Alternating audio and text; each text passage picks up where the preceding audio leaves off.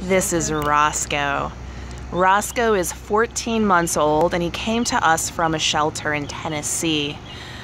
Roscoe came with, to us with a female Pyr. Both of them had been neglected and neither had been socialized. Both of these dogs are timid, uh, shy, unsure about new noises, new people, new situations. That all being said, one day into being at the kennels, they both did outstanding jobs during their grooming and already are warming up to the volunteers here.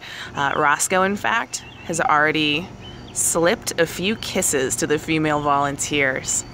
So Shannon wants this to be a hey, he's here, and we're going to post an update in the future about his personality kind of video because we don't want to say yet what kind of dog we think this is until he's had a little more time to adjust and we've had more time to get to know him.